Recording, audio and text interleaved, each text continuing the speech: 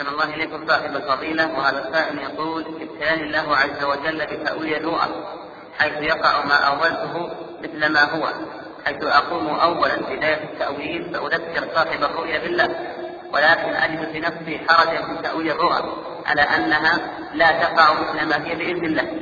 السؤال هل أستمر في نفع المسلمين بالتأويل أو أتوقف؟ وإذا توقفت هل يعتبر هذا من حسنان العلم؟ أفيدونا وفقكم الله.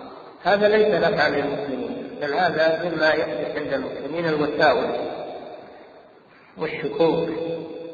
ولا ينبغي للإنسان أنه يمتحن هذه المهنة ويتفرغ ويستقبل أسئلة الناس في الأحلام كما يفعله بعض الجهال. لا تعمل هذا ولا تستمر عليه. لكن إذا حصل بعض الأحيان شيء عارف وأولته من غير أن تتعاطى هذه المهنة وتعرف فيها فلا بأس. أما أن تهيئ نفسك لهذا الشيء وتفتح زاوية في الجرائد أو في الإذاعات أو غير ذلك أو تجلس في بيتك للمعبرين فهذا أمر لا لا ينبغي لأن فيه وتعبير الرؤيا أغلبه تخرج. ما هو بعد علم.